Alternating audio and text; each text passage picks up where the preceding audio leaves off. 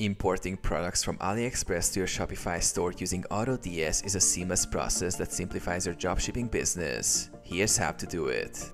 Connect your accounts. Begin by logging into your AutoDS account. Ensure your Shopify store is integrated by navigating to the settings section and selecting integrations. Follow the instructions to connect your Shopify store. Use the product research tool.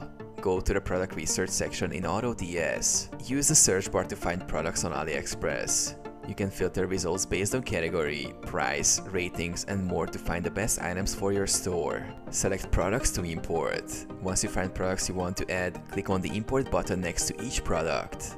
AutoDS will display a pop-up for you to customize the product details. Customize product information. Adjust the product title, description, images, and pricing. You can set specific pricing rules to maintain your desired profit margins. Import to Shopify. After customizing, click Add to Shopify. AutoDS will automatically transfer the product details to your Shopify store. Review and publish. Go to your Shopify store to review the imported products. Make any final adjustments, then publish them to make them live on your website.